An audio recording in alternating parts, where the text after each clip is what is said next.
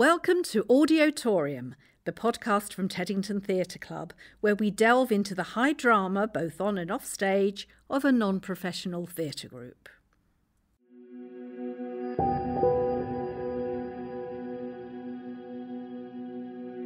Teddington Theatre Club presents 13 Frights of Halloween.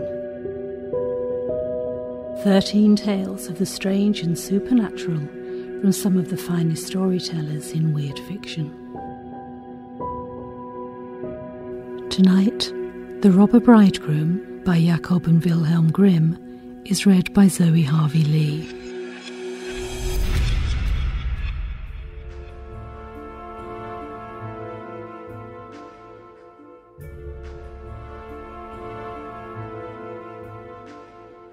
Once upon a time, there was a miller who had a beautiful daughter. When she came of age, he wished that she was provided for and well married. He thought, if a respectable suitor comes and asks for her hand in marriage, I will give her to him. Not long after, a suitor came who appeared to be very rich, and because the miller could find no fault with him, he promised his daughter to him. The girl, however, did not like him as much as a bride should like her bridegroom. She did not trust him, and whenever she saw him or thought about him, she felt within her heart a sense of horror. One time he said to her, You are engaged to marry me, but you have never once paid me a visit. The girl replied, I don't know where your house is. Then the bridegroom said, my house is out in the dark woods. Looking for an excuse, she said that she would not be able to find the way there. The bridegroom said, Next Sunday you must come out to me. I have already invited guests. I will make a trail of ashes so that you can find your way through the woods. When Sunday came and it was time for the girl to start on her way, she became frightened, although she herself did not know exactly why. In order to mark the path, she filled both her pockets full of peas and lentils. At the entrance of the forest, there was a trail of ashes, which she followed. But at every step, she threw a couple of peas to the ground, to the left and to the right. She walked almost the whole day until she came to the middle of the woods, where it was the darkest, and there stood a solitary house. She did not like it because it looked so dark and sinister. She went inside, but no one was there. It was totally quiet. Suddenly, a voice called out, Turn back, turn back, you young bride. You're in a murderer's house. The girl looked up and saw that the voice came from a bird which was hanging in a cage on the wall. It cried out again, Turn back, turn back, you young bride. You're in a murderer's house. Then the beautiful bride went from one room to another, walking through the whole house, but it was entirely empty and not a human soul was to be found. Finally, she came to the cellar, and a very old woman was sitting there shaking her head. Could you tell me, said the girl, if my bridegroom lives here? Oh, you poor child, replied the old woman. Where did you come from? You're in a murderer's den. You think you are a bride soon to be married, but it is death that you will be marrying. Look, they made me put a large kettle of water on the fire. When they have captured you, they will chop you up into pieces without mercy, cook you, and eat you, for they are cannibals. If I do not show you compassion and save you, you are doomed. With this, the old woman led her behind a large barrel where she could not be seen. Be quiet as a mouse, she said. Do not make a sound or move, or all will be over with you. Tonight, when the robbers are asleep, we will escape. I have long waited for an opportunity. This had scarcely happened when the godless band came home. They were dragging with them another maiden. They were drunk and paid no attention to her screams and sobs. They gave her wine to drink, three glasses full, one glass of white, one glass of red, and one glass of yellow, which caused her heart to break. Then they ripped off her fine clothes, laid her on a table, chopped her beautiful body in pieces, and sprinkled salt on it. Poor bride behind the barrel trembled and shook, for she saw well what fate the robbers had planned for her. One of them noticed a gold ring on the murdered girl's little finger. Because it did not come off easily, he took an axe and chopped the finger off, but it flew into the air and over the barrel, falling right into the bride's lap. The robber took a light and looked for it, but could not find it. Then another one said, Did you look behind the large barrel?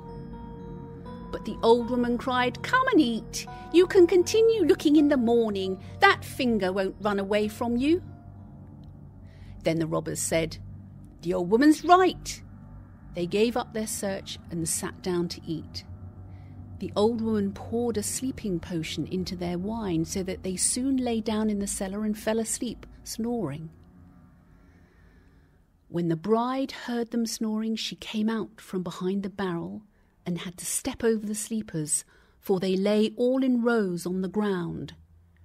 She was afraid that she might awaken one of them, but God helped her and she got through safely. The old woman went upstairs with her, opened the door, and they hurried out of the murderer's den as fast as they could. The wind had blown away the trail of ashes, but the peas and lentils had sprouted and grown up and showed them the way in the moonlight. They walked all night, arriving at the mill the next morning. Then the girl told her father everything just as it had happened. When the wedding day came, the bridegroom appeared. The miller had invited all his relatives and acquaintances. As they sat at the table, each was asked to tell something. The bride sat still and said nothing. Then the bridegroom said to the bride, Come, sweetheart, don't you know anything? Tell us something, like the others have done. She answered, Then I will tell you about a dream. I was walking alone through the woods when finally I came to a house. Inside, there was not a single human soul, but on the wall there was a bird in a cage. It cried out, Turn back, turn back, you young bride, you're in the murderer's house. Then it cried out the same thing again. Darling, it was only a dream. Then I went through all the rooms. They were all empty, and there was something so eerie in there. Finally, I went down into the cellar, and there sat a very old woman shaking her head. I asked her, Does my bridegroom live in this house? She answered, Alas, poor child, you have gotten into a murderer's den. Your bridegroom does live here, but he intends to chop you into pieces and kill you, and then he intends to cook you and eat you. Darling, it was only a dream. After that, the old woman hid me behind a large barrel. I had scarcely hidden myself there when the robbers came home, dragging a girl with them. They gave her three kinds of wine to drink white, red, and yellow, which caused her heart to stop beating. Darling, it was only a dream. After that, they took off her fine clothes and chopped her beautiful body to pieces on a table, then sprinkled salt on it. Darling, it was only a dream.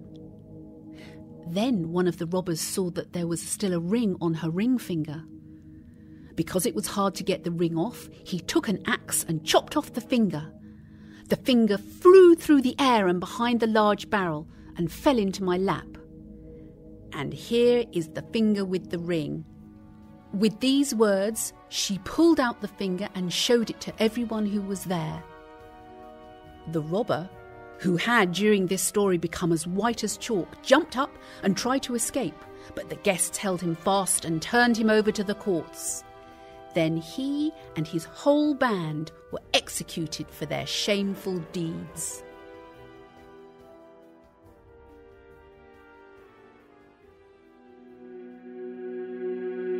The Robber Bridegroom by Jacob and Wilhelm Grimm was read for Teddington Theatre Club by Zoe Harvey Lee, with studio recording by Harry Jacobs.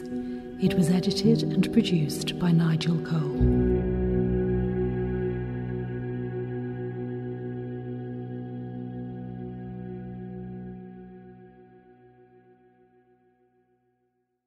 If you've enjoyed this podcast, don't forget to rate, review, and subscribe to give us a little boost in the charts and to help other people find us.